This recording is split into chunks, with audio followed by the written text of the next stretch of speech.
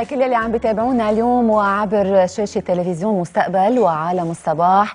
بتأمل تكونوا اليوم عم بتتابعونا بهالنهار الأحد يلي جزء منه يا ريت تخصصوه للراحة لحتى تقدروا بالفعل تقلعوا ابتداء من بكرة بأسبوع على أمل دايما يكون مليء بكل شيء منيح كل شيء جديد. عالم الصباح مثل العادة مشاهدينا رح بقدم لكم اليوم سلسلة من المواضيع والفقرات رح نتعرف عليها بعد شوي. إنما أكيد مع يلي تعودتوا عليه وكل الحملات يلي عم نقوم فيها مؤخرا وهي هدفها إنه نوصل كثير من المعلومات وجزء من التوعية اللي هي ضرورية لنا كلنا لإنه ما فينا نقول إنه نحن عم نعرف كل شيء أو عم نتابع كل شيء. مشان هيك كل المعلومات اللي عم نجرب نوصلها فينا ناخذ منها وأكيد نجرب إنه نطبقها أكثر وأكثر بحياتنا اليومية. بالأيامات الماضية كنا سوا بحملة لها علاقة بالبيئة والتوعية للمخاطر يلي ممكن إنه نحن يعني قصدنا أو ما قصدنا نأثر فيها على البيئة وبالتالي نكون عم نضر بهالمحيط يلي نحن بدنا نعيش فيه لقدام سنوات وسنوات. اسمحوا لي بالأول صبح بالخير الشيف شادي حتى ينضم لنا شوي أكثر بالحديث. صباح الخير. رح نحكي اليوم عن كثير من الأمور شفت الكنار؟ الكنار إيه شفته. صباح. الخير. كيف أحوالكم؟ الحمد لله. إذا حملتنا البيئية اليوم رح بيكون آخر نهار لها مشان هيك بدي أذكر شوي حكينا عن كثير من المواضيع يمكن مواضيع كبيرة لها علاقة بأحراج ولها علاقة بحياة بحرية وغيرها. بس كمان في مواضيع كثير صغيرة نحن فينا بحياتنا اليومية إنه نطبقها. ننتبه على الزبالة نحطها بأكياس ما نكب بالطرقات.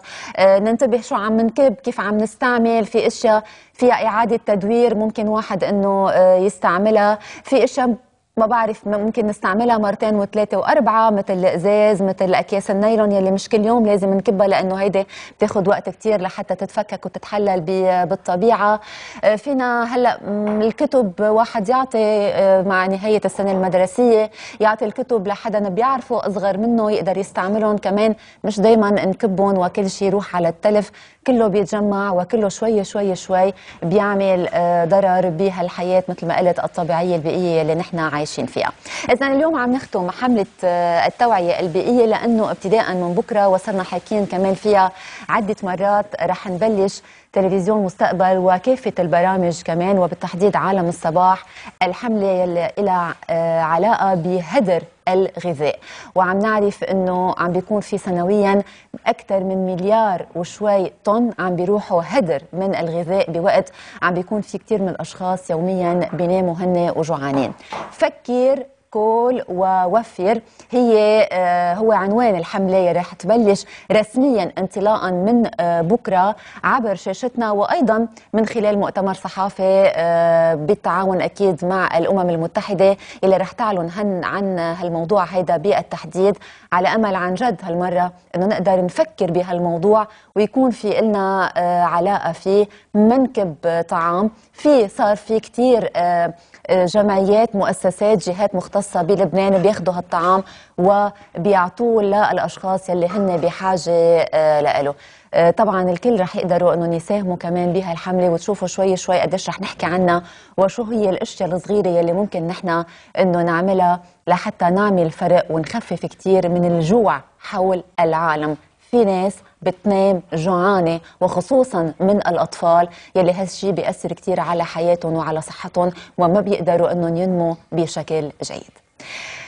إذا فينا نقلع؟ كل ووفر وفر إن شاء الله يا رب يقدروا يطبقوها. شو هن الفقرات اللي رح بتكون معنا اليوم لغاية الساعة واحدة منتابع سوا. بحلقة اليوم من عالم الصباح منتابع الأبراج مع كارمن. نتذكر أغاني المسلسلات اللبنانية القديمة ب ع يوتيوب مع جان. شو هي أجدد الأغاني بنسمعها مع جان؟ ب ع غير موجات وبخصوص الجمال مع جي نصار من مصر بتكشف أسرار جمال كليوباترا من حمام الحليب للمساج بالزيوت. رياضة ونشاط ونصائح مع هبة بواحد اثنين ثلاثة. أول سيارة فورمولا 1 لبنانية الصنع نتعرف عليها ب ع طريقك العزف بالكبايات موهبة جديدة بنشوفها مع جون بجيل توب ورشة ملح على chicken burger وسلطة ال Creole مع شيف شادي. إذا فورا لعند كارمن كل الحظوظ والأبراج كيف رح بتكون؟ اليوم 9 حزيران 2013 كمان سوا رح نتابع. صبحكم بالخير اليوم الأحد 9 حزيران يونيو القمر بعده مرافقنا برج الجوزاء الهوائي حتى المساء الساعة 7 وثلث بتوقيت بيروت. ثلاث أيام ورا بعضه القمر ببرج الجوزاء نهار جيد للأبراج الهوائية كيف رح بيكون هالنهار؟ على كل الأبراج البداية مع برج الحمل. يلي اليوم نهاره بعده مقلع بصورة كتير نشيطة وكتير قوية في حكي كتير مع الإخوة مع الجيران في بحث ببعض القضايا المهمة. لكن ما بنخاف عليك أفكارك كتير قوية وذكية ومقنعة. مقنعة بيبقى عليك فقط تركز. وبيبقى المولود الأنشط اليوم هو 25 26 و27 أذار مارس. بننتقل لبرج الثور. بالنسبة لبرج الثور أيضا ما بينخاف عليك. أنت أيضا من الأبراج القوية. تنتمي أيضا الأبراج الرابحة إذا أنت محضر حالك. احتمال يصير في اليوم مناقشة بفاتورة بقرض معين أو بدين معين. حدا يمكن يقيم عملك فحاول تكون جاهز وأدائك مميز. وبعتبر المولود الأكثر حظا نسبيا اللي عنده طاقة ومدعوم من الحظوظ. 30 نيسان أبريل و1 أيار مايو. ننتقل لبرج الجوزاء.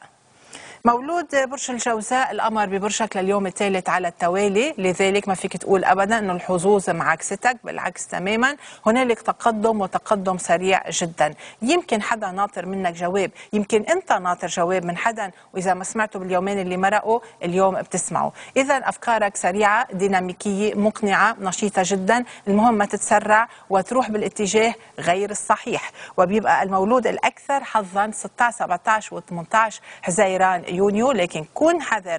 بعد عن السرعة والتهور والمخاطرة كليا مولود 27 ل 31 أيار مايو. ننتقل لبرج السرطان. ما تفكر إنه في جواب رح يوصل؟ قبل بكرة أو بعد بكرة. يعني مولود برج السرطان بدك تقول التنين والتلاتة هن اللي بيجيبوا لك الخبر اليقين. اليوم بعدك بحالة ترقب تراوح عمالك مكانة ما في خبر ما في جواب. لا حياة لمن تنادي. انتبه على صحتك انتبه على أغراضك انتبه على مصالحك. وبعتبر المولود الأكثر تعبا حاليا هو مولود شهر تموز يوليو. بنكمل مع برج الأسد. بالنسبة لبرج الأسد اليوم أجواءك جيدة. مولود برج الأسد أجواءك نشيطة بعكس اليومين المقبلين. إذا بدك حدا يساعدك إذا بدك مساعدة إذا بدك دعم إذا بدك تشجيع اتحرك اليوم لأنه التنين والثلاثة ما في أخبار بالنسبة لك بالعكس تماما هنالك أخبار يمكن مخيبة. إذا اتحرك اليوم أو أجل للأربعاء الخميس أو الجمعة. وبعتبر المولود الأوفر حظا نسبيا 3 4 و5 آب أغسطس. ننتقل لبرج العذراء. مولود برج العذراء صحيح الضغوط كثيرة صحيح حالك حاسس حالك تعبان صحيح حاسس حالك يمكن إنه أنت تحت الأضواء لكن هذا نهار كثير مهم وبعتبره من أهم الأيام. إذا أنت حابب فعلا أو أنت عندك لقاء عندك اجتماع عندك موعد مهم ما تخاف قوي قلبك حضر حالك.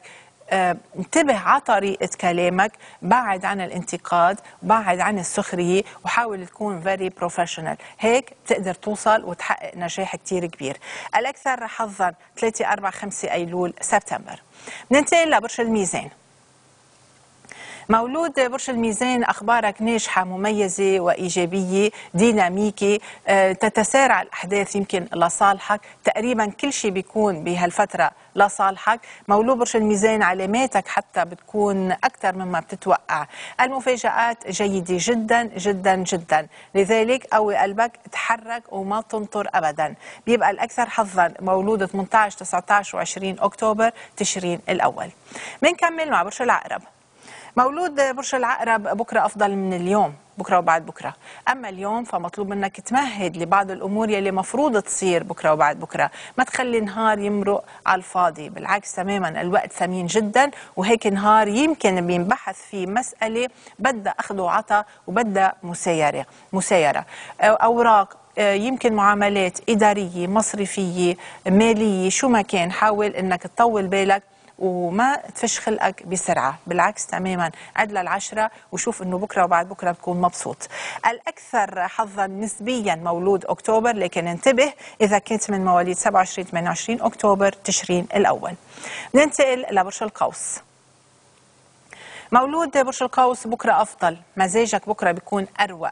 اليوم منرفز اليوم معصب أو على الأقل هيك تشير النجوم. الأجواء اليوم يمكن تحمل لك شخص بعكسك إن كان منافس إن كان خصم أو إن كان حتى يمكن عدو قديم. بجميع الأحوال ما تخالف القوانين. اليوم نهار غير مناسب لحتى تزيد على حالك مشاكل.